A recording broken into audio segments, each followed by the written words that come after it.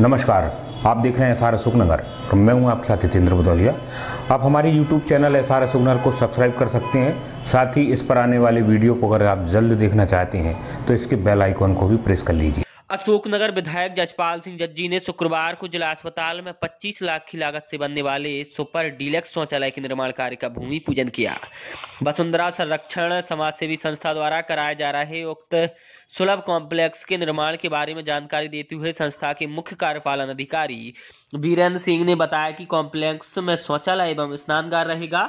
इसकी प्रस्तावित लागत 25 लाख रुपए एवं सुपर डीलक्स दस सीटर शौचालय का निर्माण कराया जाएगा, जिसमें महिलाएँ एवं विकलांगों के लिए इसका उपयोग निःशुल्क रहेगा तथा अन्य बाकी लोगों के उपयोग के लिए पाँच रुपए शुल्क लगेगी। इस दौरान विधायक श्री जज्जी ने बताया कि जिला चिकित्सालय में जो मरीजों के साथ अटेंडर आते थे, उन्हें बाथरूम एवं शौचालय की असुविधा होती थी। उसको देखते हुए हमने स्वयंसेवी संस्था वसुंधरा संरक्षण के बीरेंद्र सिंह से संपर्क किया और उन्हें यहाँ यह सुविधा उपलब्ध कराने के लिए आमंत्रित किया। उन्होंने कहा कि अस्पताल के बाहर रोड पर सुलभ कॉम्प्लेक्स है, लेकिन वहाँ पर अक्सर भीड़ भाड़ रहती है। तो हमने सोचा कि जन सुविधा के लिए जिला चिकित्सालय में लोगों को यह सुविधा दी जाए और यह अस्पताल में आने वाली मरीजों के अटेंडरों अन्य लोगों के लिए बड़ी असुविधा उपलब्ध होगी।